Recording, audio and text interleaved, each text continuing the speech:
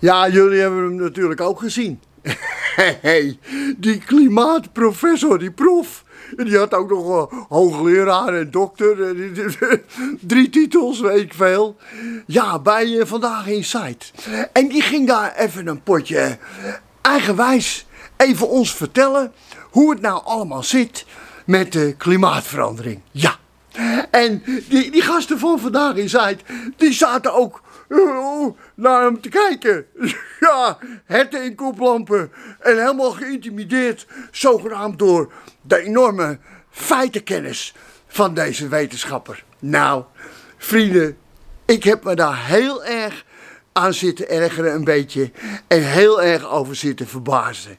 Want dan denk ik bij mezelf, zo'n man, hè, die Rotman, zo heet hij.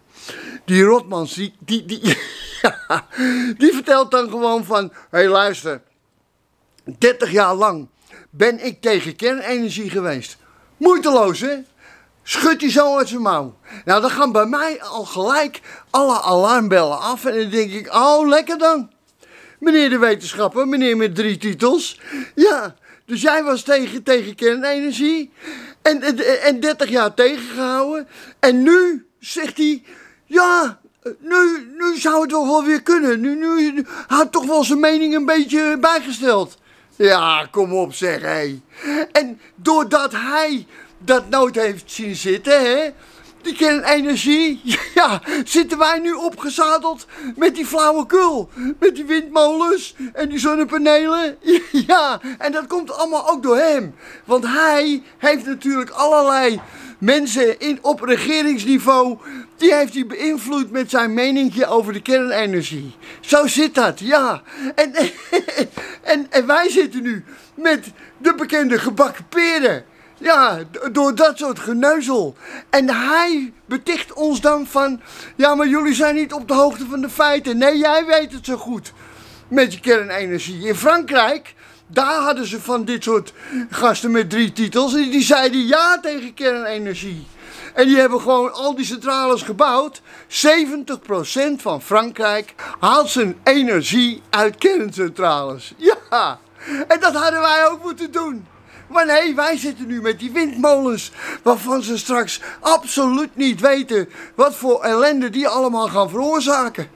Slecht voor de vissen. Het is slecht voor, voor, voor het hele milieu van het water, van de Noordzee. Want ze weten helemaal niet wat dat ijzer gaat doen van die molens. Ja, de, vogels, allemaal dood in die wieken. En, en, en wat dacht je van het klimaat zelf? Ja, door dat gewiek van die molens gaan de luchtlagen ook allemaal in de war.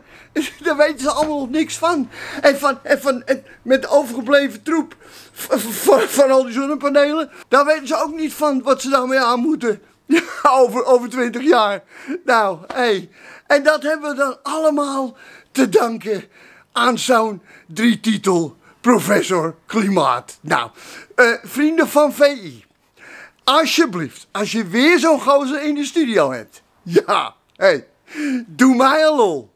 Hey, en kom dan terug met, over energie gesproken, met tegengas.